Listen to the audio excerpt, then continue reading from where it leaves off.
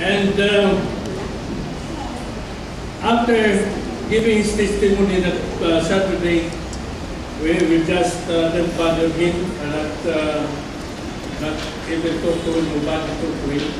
And he just left the church.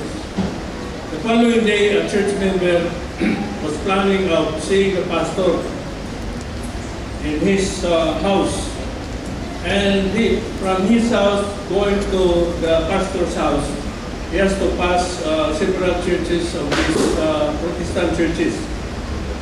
And while he was passing by a certain church, he heard somebody speaking. And the voice seems uh, similar, uh, uh, what's this?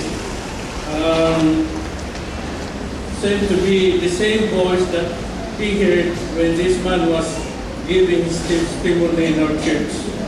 So he went inside the church, although not a member there, but he was welcome, so he went in and sit down. And lo and behold, he saw this man who was giving testimony the day, Sabbath, the day before. And uh, he was telling the same testimony that he was telling our church that Sabbath morning.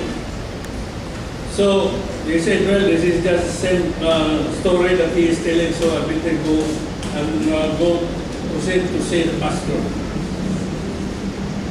The moment he reached the house of the pastor, he met the pastor and another person playing chess.